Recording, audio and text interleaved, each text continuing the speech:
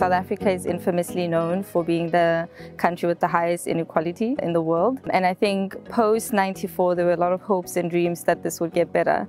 Um, and unfortunately, it hasn't. So my incentive and I think interest and inspiration is wanting to be part of a broader community, including academics, policy analysts, public workers, to try and understand uh, why inequality has been so pervasive for so many years um, and trying to address it. I am very excited about the data.